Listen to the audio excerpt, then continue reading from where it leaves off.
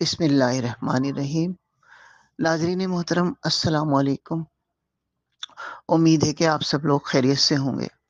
और नाजरीन मोहतरम, जैसा कि आप सबको ये पता है कि चोरों ने मेरा चैनल और फेसबुक का मेरा पेज तबाह कर देने के लिए मुख्तलिफ़ तरह के हथकंडे इब्तदा से ही इख्तियार कर रखे हैं।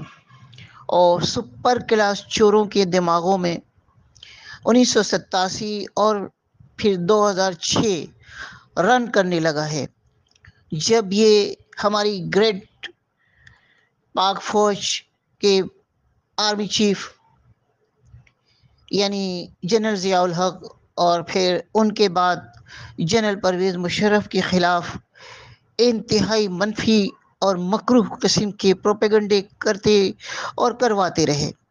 फ़र्क ये है कि उन्नीस सौ सतासी और 2006 में सोशल मीडिया नहीं था। टेक्नोलॉजी भी इतनी फास्ट नहीं थी, यानी कि लेटेस्ट नहीं थी। और सोशल मीडिया के इस दौर 2022 में मैदानी अमल में हमारे इंतहाई काबिल एहतराम चीफ जनरल बाजवा मैदानी अमल में थे, मगर उनके वो इंतहाई सब्र के पैकर निकले और सात समंदर पार बैठे चोरों में, चोरों के पॉलिसी मेकर, चोरों के चीफ को इस टेक्नोलॉजी से फ़ायदा उठाने का भी मौका ना मिल सका। और इस बार वो समझ ये रहे थे कि अपना हदफ बासानी हासिल कर लेंगे। मगर पाक आर्मी और पाक अवाम की आपसी चाहत ने इनके तमाम हथकंडों को नाकाम कर दिया और चालीस चोरों का बाबा, अली बाबा अली बाबा नाकाम हुआ, जो खुद को सु सु सु सु, सुपर कहता रहा। मगर उसे ये नहीं पता कि हमारा सुपर सिर्फ़ अल्लाह है और चोरों का चीफ एक बार फिर अपनी अरबों डॉलर का सरमाया डूब जाने पर फॉरेन फंडिंग के मगरमच्छ पर चिरागपा है। बिस्मिल्लाहिर्रहमानिर्रहीम। नाजरीन मोहतरम, अस्सलाम वालेकुम मैं ज़फ़र इकबाल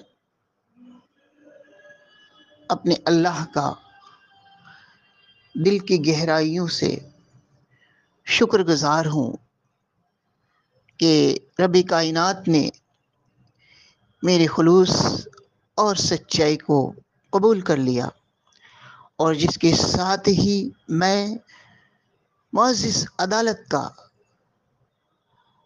अपने वकील, अपने ऑनेस्ट वकील शफीक अब्दुल्ला खोसा भाई का और इनके भाई सेफ़, खोसा भाई का दिल की गहराइयों से शुक्रगुजार हूँ कि जिन्होंने ईमानदारी, खुलूस और जज्बे के साथ, लगाव के साथ मेरी मज़लूम मकतूला वाइफ सैदा गौसिया फरजाना के केस को स्टडी किया। कत्ल केस को स्टडी किया और मोजिस अदालत ने मेरी मासूम वाइफ के कत्ल का नोटिस लेकर कल मोरखा 21 फरवरी 2023 बरोस मंगल के दिन मुजरिमों के खिलाफ, दरिंदों के खिलाफ वारंट ऑफ़ अरेस्ट जारी कर दिया। क्योंकि गुज्त तीन सालों से अदालत के बाहर मुख्तलिफ़ लोगों से मिलकर और पुलिस की ज्यादतियों के शिकार लोगों के हालात जानकर मेरा दिल खून के आँसू रो रहा था, क्योंकि हम उस्ताद किसी की तकलीफ़ बर्दाश्त ही नहीं कर सकते। हमारा दिल अल्लाह ने ऐसा बनाया है। हमें गॉड गिफ्टेड पेशा ज़रूर दिया है, लेकिन हमारा दिल भी ऐसे ही बनाया अल्लाह पाक ने। मेरा दिल खून के आँसू रो रहा था और मेरी ये कोशिश और मेरी ये ख्वाहिश रही। आज भी है कि मैं सिटी कोर्ट कराची की शक्ल ही ना देखूँ। क्या करूँ भाई? नहीं बर्दाश्त होती तकलीफें लोगों की। दूसरी तरफ़ हमारी मुतल अदालत में स्टेनो ही नहीं था। गुज्त चार पाँच माह से इस अदालत में स्टेनो का प्रॉब्लम चल रहा है। अदालत को भी जिस वजह से इंतहाई तकलीफ़ का, इंतहाई प्रॉब्लम का सामना है। तो मोजिस अदालत ने मरखा 21 अक्टूबर 2022 को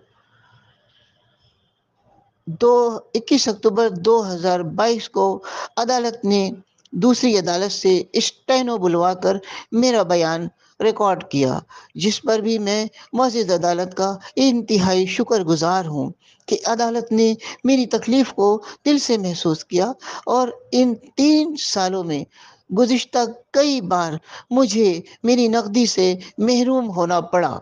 और ये ज़रूरी बात मुझे कई कैदियों ने भी बताई कि उनके मुतालिकीन की जेबें काट ली जाती हैं और जो उनसे मिलने के लिए आते हैं, वो खाली जेब अपने घरों को लौटते हैं। लिहाजा मोजिज अदालतों से, मोजिज अदालतों से मेरी ये इस्तदा है कि मशहूर ज़माना चोरों के ख़िलाफ़, मशहूर ज़माना चोरों के ख़िलाफ़ अवामी शिकायत का इस तरह से नोटिस लें कि कम अज़ कम अहात अदालत में अवाम मशहूर ज़माना शरपसंद चोरों से महफूज रह सकें।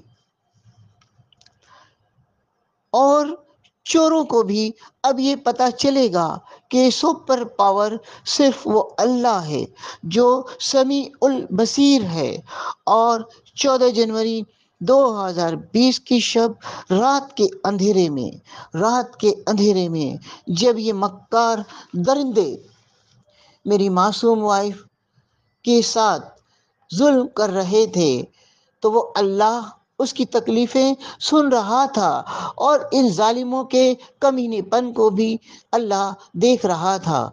तो इन जालिमों और इनके सर, सरप्रस्तों के इंतहाई इबरतनाक अंजाम भी मेरे रब ने उसी दिन, यानी मंगल 14 जनवरी 2020 को प्लान कर लिया था।